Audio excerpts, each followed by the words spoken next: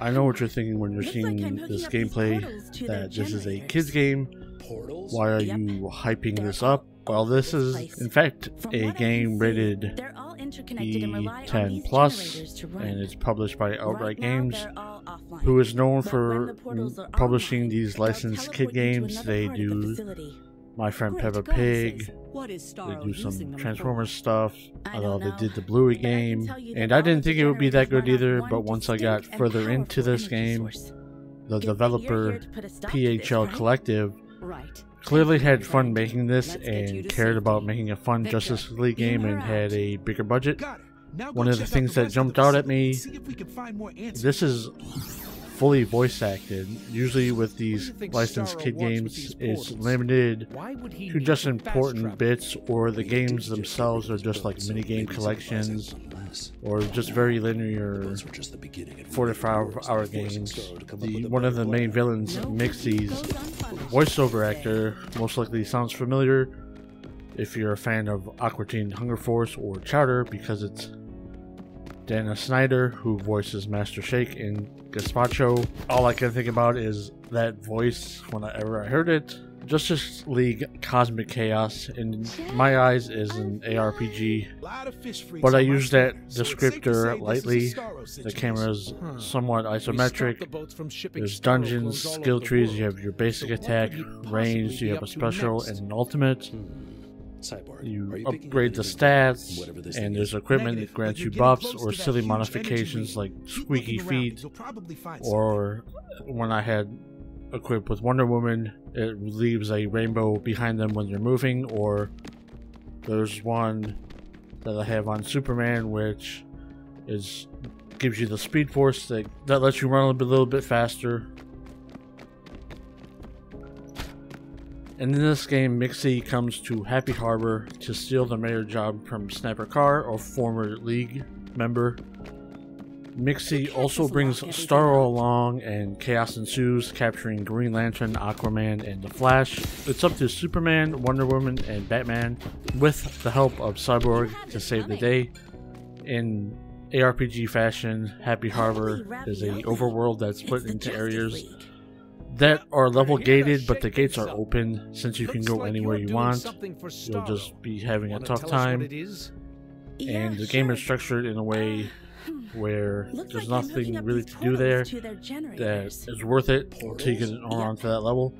To get around this overworld, each one of our heroes has a traversal action. Diana has the lasso jump, Bats has the grapple hook and glide, and good old Kal-El has the flight, which is I use the most, and it's pretty fun to use. And you can also drive the Batmobile, Wonder Woman's motorcycle, and a Superman helicopter. You can also unlock fast travel points you can activate after you go in and clear out those dungeons. You're probably all wondering how the combat is in this to start off, there's multiple difficulty levels, so you can make it harder or easier depending on what you want to do.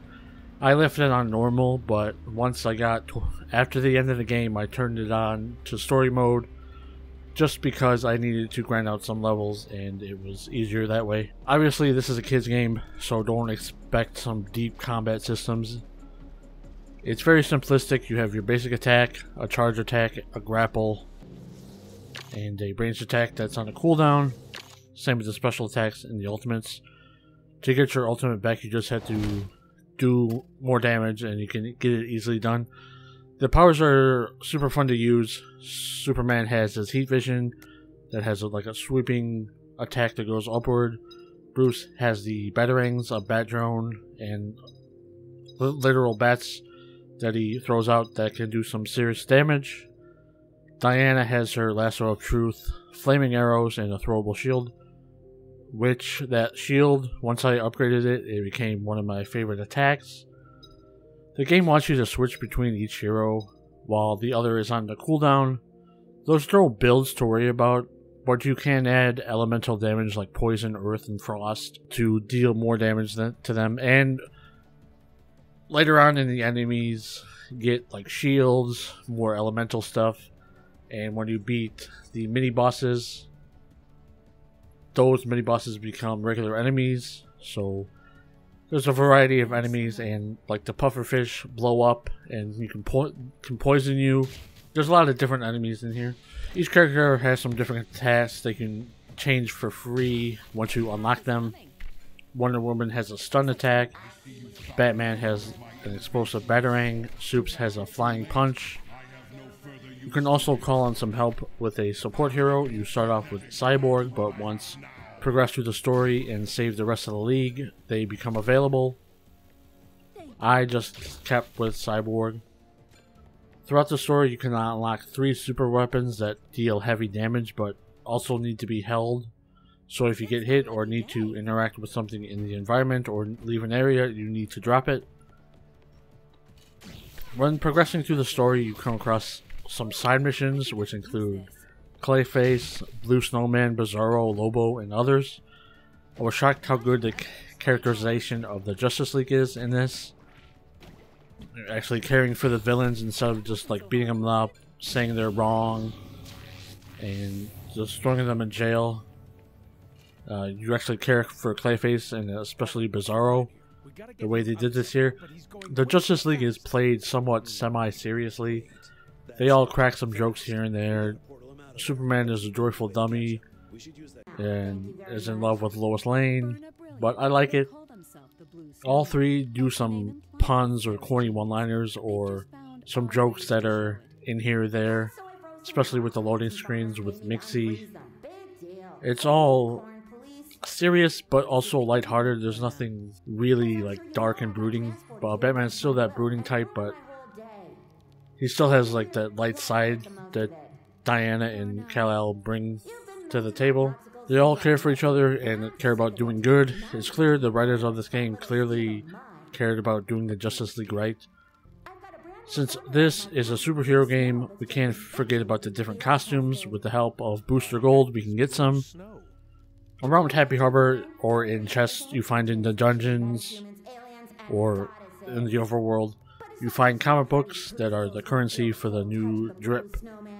There's costumes from specific issue. The the Marvel's Guardians of the Galaxy game was the gold standard for crediting writers and artists. Cosmic Chaos doesn't do this, but at least it has the cover of the issue, the title, and the issue number. And for some reason, each time I closed the game, the costumes would be set back to default. Another bug I had was I would get stuck in vehicles and I had to close the game because I couldn't leave the vehicle. This game doesn't overstay its welcome.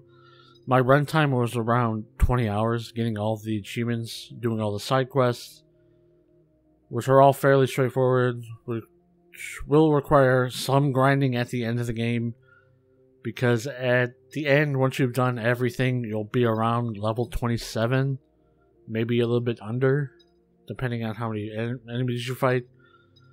But there's an easy way to do this. You can go back to Ares' realm and repeat his challenges to face many high level enemies and should take around like an hour to 30 minutes to get your levels you need to get to level 30.